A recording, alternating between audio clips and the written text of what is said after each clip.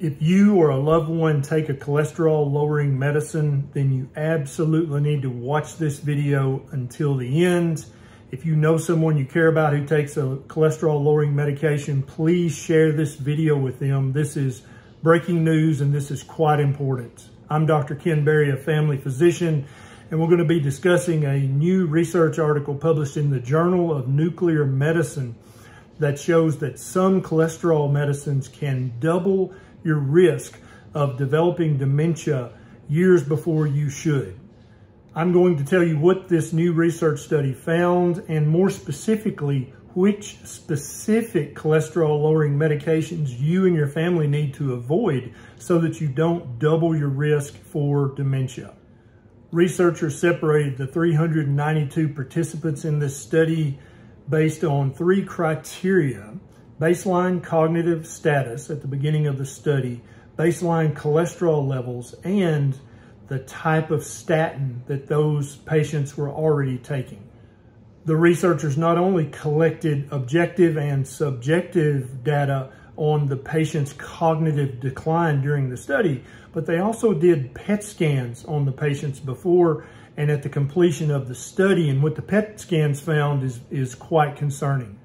The researchers found through subjective and objective testing that patients with mild cognitive impairment or normal cognition, that's, that's you currently, who used lipophilic statins were found to have more than double the risk of developing dementia compared to statin non-users. Then, when the researchers performed PET scans on the brains of these patients later in their study, they found that the PET scan of users of lipophilic statins also presented a significant drop in metabolism in the posterior cingulate cortex. This is the area of the brain known to decrease the most substantially in Alzheimer's dementia. Now, the question you're asking right now, I hope, is what's the list of lipophilic statins I need to know because I'm taking something to lower my cholesterol. Am I taking one of these drugs? So the lipophilic statins as defined by Climent et al. in a research paper I'll link down below are atorvastatin, which is marketed in the United States as Lipitor, fluvastatin, which is marketed as Lescol, lovastatin, which is marketed as Mevacor, uh, pitavastatin, which is marketed as Livalo, and simvastatin, which is marketed as Zocor. The hydrophilic statins, which didn't seem to show this same doubling of dementia risk, are pravastatin, which is marketed as Pravachol, and rosuvastatin, which is marketed as Crestor.